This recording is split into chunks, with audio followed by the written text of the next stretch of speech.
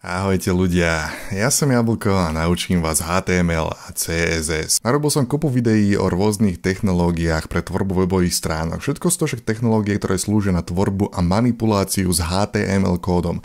HTML je základ každej stránky. Naši rodičia si cez prestávky v robote chodili zafajčiť, my si chodíme čeknúť Twitter, hej, alebo pozerať mačky, čo vyzerajú ako Hitler. Sme obklopení obrazovkami. Oni, Naši rodičia ako prvé ráno išli na záchod a umyť si zuby, ale nám už do ksichtu svieti 16 rôznych obrazoviek, ej? Ešte sa nám ani oči nerozlepili.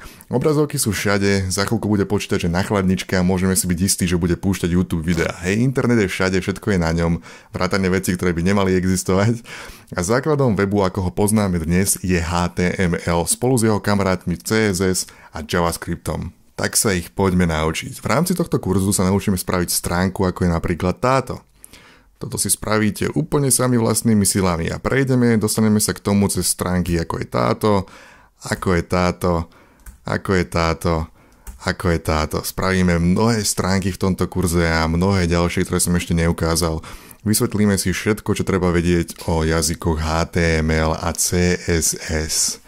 Tak ešte raz, ja som Jablko a poďme na to. Brm.